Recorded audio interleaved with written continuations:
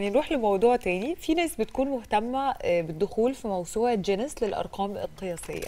حتى ولو كان الأمر من خلال أشياء صعبة جدا زي الناس اللي بتدخل جينيس لأنها مثلا أكلت أكبر رغيف في العالم أو شربت عدد كبير جدا من لترات المية أو المشروبات الغازية مثلا. في وقت قياسي.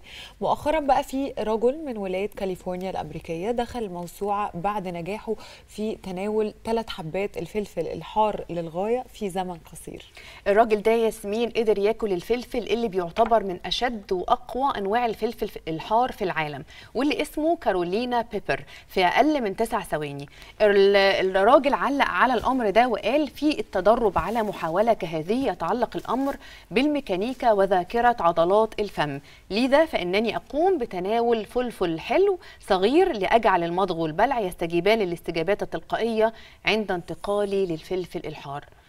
تحبي الفلفل يا ياسمين؟ لا ما بحبوش بس أنا عايزة أقول لك رأيي في الموضوع ده. أنا حاسة الموضوع يعني مش مستحقة قوي جينيس لأن إحنا عندنا في مصر ممكن آه، في في العادي بناكل الزلط. فول وطعميه آه، يبقى جنبه 10 فلفل حار. عادي يعني. آه. فمش شايفة إن هي wow بالنسبة لنا كمصريين ولا انت إيه رأيك؟ ال- الفلفل ولا الإيه؟ أنا لا يعني أنا قصدي إنه حتة إن هو أكل ثلاثة فلفل آه، يعني أنا عايزة أقول لك أنا بعشق الشطة يا ياسمين. بحطها ممكن اضيفها على كل أنواع الأكل الجبنة البطاطس كل حاجة.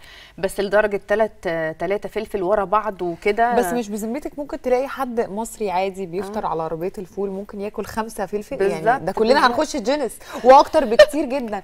فأنا مش شايفة فيها اختراع يعني فيه فلفل. لا إحنا عندنا في مصر الكلام ده مش مش نادر ولا إحنا عندنا بناكل الفلفل زي ما بناكل كده أي حاجة عادية. فيعني يعط- هي نسبية كمان. آه بالظبط يعني. وبعدين زي ما انت قلتي بتحبي تاكلي الأكل سبايسي وأغلب البيوت بالظبط. المصرية أصلا آه لو مش هيحطوا الفلفل اللي هو قرون الفلفل يعني هيحطوا آه فلفل اسواني يعني شطة أسواني. بالظبط. عادي يعني. شطة على كل حاجة. ما يهمناش على فكرة يعني مش جينيس خالص يعني. بس.